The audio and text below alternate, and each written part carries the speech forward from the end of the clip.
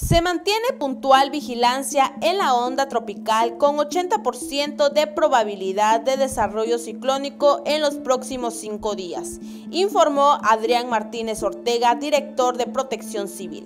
quien señaló que se tienen listos más de 1.100 refugios en Quintana Roo y los programas de evacuación en los 11 ayuntamientos como parte de los trabajos preventivos en caso de que se presente algún fenómeno climatológico mayor.